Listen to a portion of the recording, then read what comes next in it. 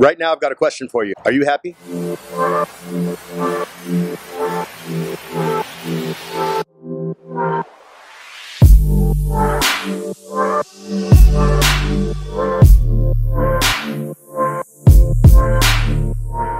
What's up, my friend? I hope you're doing well today. I've been studying what happiness is and what is it all about. What is it? How do we get it?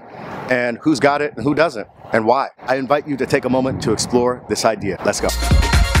All right, so here we are in the beautiful Centro Ybor City. I'm Antwan Towner. I hope you're having a great day today. I want to do this video for you real quick to talk about the idea of happiness.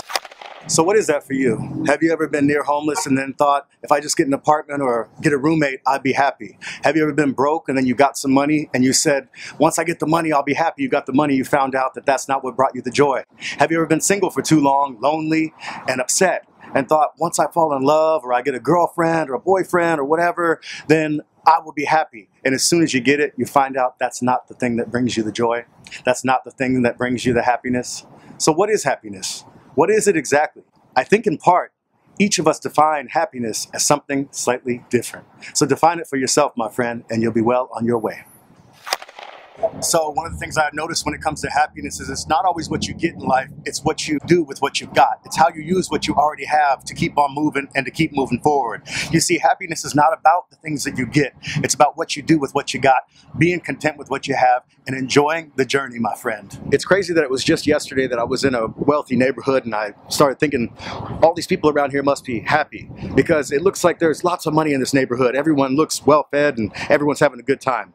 And as I started walking through this little area of restaurants, um, I saw a man who was homeless. He was laying there on a bench. And I thought to myself, what is the difference between him and everyone else here? You see, everyone else here looks well taken care of, but this man isn't even taking care of himself. Or maybe he wasn't able to take care of himself. What is a differentiating factor? What is it about people that makes a decision for them to give up or to just accept what they've got in a negative way versus accepting what they got and being content in a positive way? What is the determining factor? What is the difference between that? I think when we can differentiate those two different things of giving up and being content, meaning happy in the moment, whether or not I have or don't have, we can really start to get a clearer vision of what happiness is.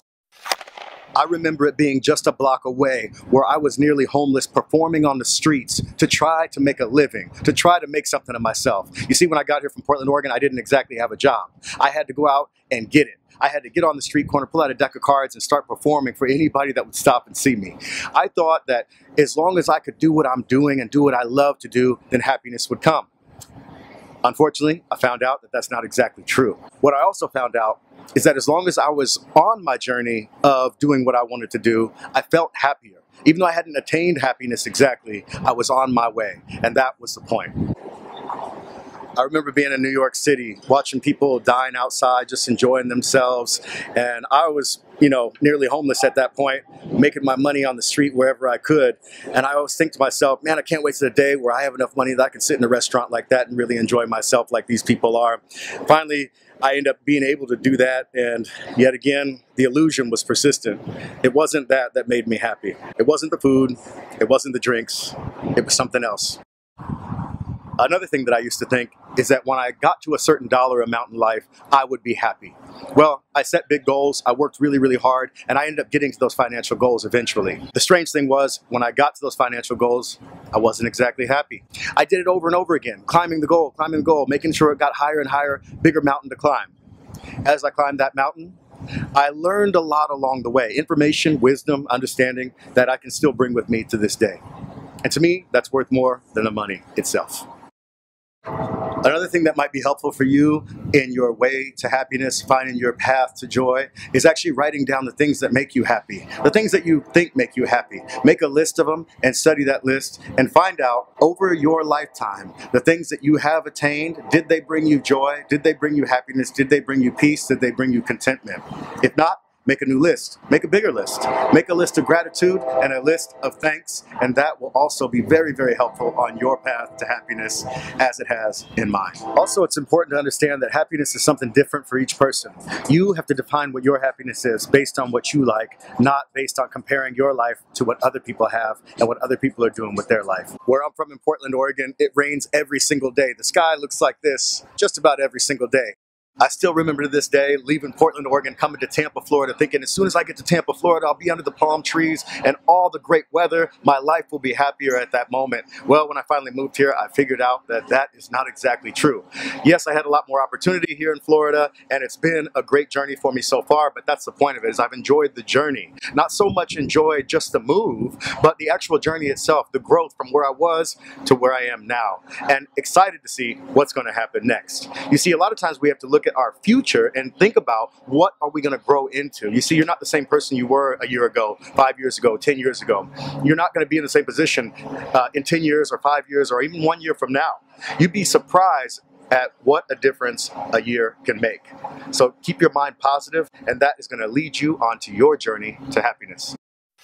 So definitely remember what Confucius was talking about when he said, wherever you go, there you are. Especially if you're a person that's looking for happiness in your travels and the places that you go. Enjoy the journey. Don't just think about where you're going as a destination. You see, the destination can be a gift, but also the journey itself is the gift. So can you imagine that? trying to find happiness moving all the way across the country 3,000 miles and you get to the place and you become homeless instead and as you're homeless you figure out a way to not become homeless right and then you find a way to follow your dream and live your your dream and follow your goal, right? While making money doing it. Traveling around to so many different interesting places, meeting so many different interesting people, basically doing it, basically living it. And you find out at that moment that it didn't bring you happiness, it didn't bring you joy in the way that you thought it was going to. So what do you do? You start taking up a hobby like I did. I took up uh, photography actually, and that's what got me to New York City anyway. But as I got there, I find out that as I start living my dream, following my goal up there, I still wasn't exactly what you would call happy by definition, right? And uh, so I had to start figuring some other things out. Start asking myself, question myself, what is happiness? Who is it for? Who gets it? Who doesn't get it? Is it the people that follow their dreams? Are those the ones that get happiness? Is it the ones that make all the money that they expect to make? Are those the happy ones? Or is it the ones that have the love life that they've been always looking for? I remember being single for so long, wondering why doesn't anybody love me? Or at least uh, as I dated, I didn't feel loved by the girls that I was dating, right? Being cheated on, I know that sense of loss, right? That sense of uh, losing an investment in my time and energy, money, effort, and they basically uh, throw it in the trash. I know what that's like right? And then I, I long to be in a relationship. I long to be in love again. And when I finally got that again, uh, the thing about it is it didn't bring me any fulfillment, it didn't bring me any joy. So what is it? What's the determining factor? One of the things I figured out is it's gratitude. If I have gratitude for what I've got already, I'm actually one step closer to happiness. If I can make a list of two or three or four things, or maybe even a page of things that I have gratitude for, then I tend to be happier. If I can make a list of things that I appreciate about my life, the way that it is right now and just take a deep breath in that moment, I find out that I'm happier. And I found out that other people that are doing this through meditation and yoga and just uh, you know practices of patience and peace, uh, different exercises that bring them joy, actually are the happiest people on earth. It's not the ones that have a million dollars. It's not the one that have the mansion or the, the love life of their dreams that they think is going to bring them joy. You see, it's not the external that brings us joy, it's internal. What's in our mind, what's in our heart that generally brings us joy and happiness. Um, that's worked for me, and I hope that you can take some exercises today to figure out what that is for you, my friend. So the strangest thing about today's video is that just about everything that could go wrong went wrong. I'm one of those type of people that need to feel accomplished in order to feel a bit of happiness and one of the things about that is just getting things done and today it wasn't just the weather it was the equipment and then forgetting things and then just things malfunctioning and having to reset and having to restart everything in life is going to be a hurdle nothing's ever going to be perfect and that's what we got to get used to when we're on our way to happiness we need to find a way to be satisfied inside of ourselves first before we go out to tackle the day and accomplish our goals a lot of times life isn't even about the destination and the actual accomplishment. Sometimes it's just about the journey of getting it done and feeling accomplished in that and to feel happy in that and to feel, you know, sort of settled in that. I think it was Goggins that was talking about uh, just getting up and making your bed every day. Just that simple feeling of getting something accomplished. Uh, maybe may start the day in a way that's just much more positive than that otherwise could end up. Sometimes to get to happiness, you just got to get your day going in the right direction. Think about one or two or three things that you can do tomorrow morning to get your day going in the right direction and see how you feel then, my friend. Maybe you might be a more goal-oriented person Have you ever had a friend of yours or somebody, maybe a boss or somebody you work with, say they're going to do something for you, maybe a favor, get something done, and they don't do it when they said they would do it? They didn't get the job done on time or they never came through with the product or service they said they would do for you, and that was the determining factor of why you were upset and why you're angry and why you're not to the point of happiness. Isn't it important to identify what makes us angry, what makes us upset, so that we can find our point of happiness? It's definitely worth contemplating, definitely worth thinking about. What is it that you can identify that makes you angry, that makes you upset, that takes you away from your joy? So as a magician, I've been one of the lucky people in this world that gets to make a living doing what I love, and I get to travel around the world and see a lot of things and do a lot of things with a lot of cool people. I wanted to bring this moment up right now because wherever you go, there you are.